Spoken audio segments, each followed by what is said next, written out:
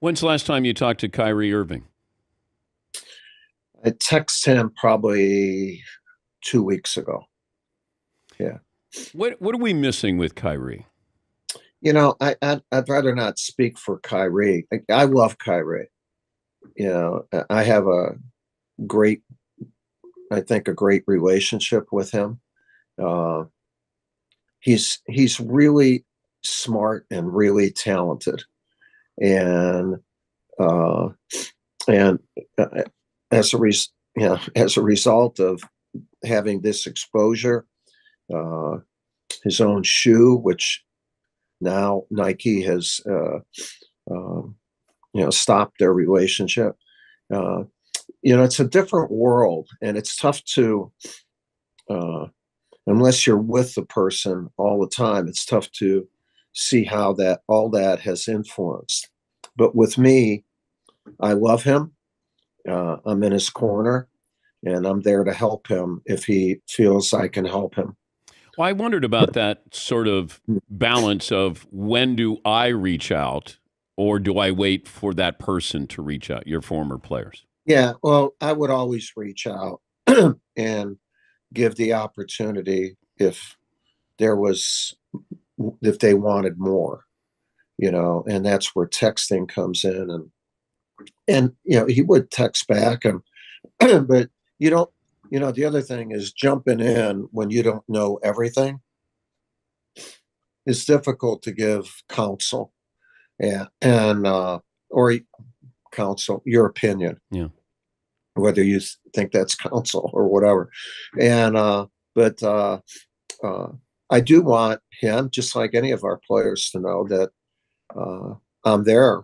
You know, if you what for whatever, and uh, uh, you know, Kyrie put that Kyrie actually played more games for me with the U.S. team than he did for Duke. Uh, Duke, he played eight games, and so I got to know him along the way, even though I didn't. You know, we had a good relationship his freshman year, but he wasn't wasn't playing, and uh, you know, I'll tell you, you know, uh, uh, you, do we have time for a story about him? Sure. Okay, so when we recruited him, top one of the top players, and you know he was born in Australia, so uh, uh, his dad played there. His dad's a great guy, and uh, Dred, and uh, in high school, like when he was 17, 18, he had a, an opportunity to play in one of the youth tournaments uh, worldwide, and he could play for Australia or the U.S. And Australia was putting a lot of pressure on him, and uh, he wasn't sure what to do. And I said, "Do not do that. Play for the U.S." And I said, "I said you're going to be one of the the guards of your generation, or maybe the guard of your generation, and you're going to be the point guard on the U.S. Olympic team at some time."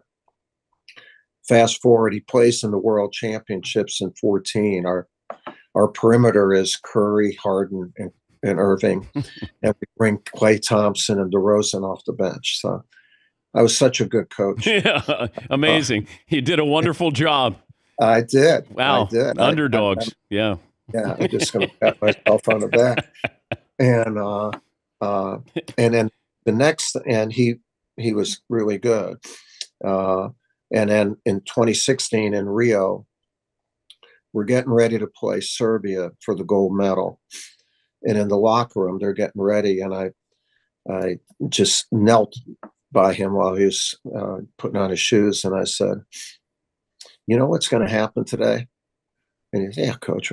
I said you're going to be i get chills thinking i said you're going to be the starting point guard for the us olympic team and uh, very like kind of an emotional thing so i have that level of relationship with him, and I know, I know that he has a, a uh, that he has a good soul and a good heart, and and uh, and I love him, and uh, I, I'm sorry that all this is, you know, this is um, very unfortunate that all this is happening.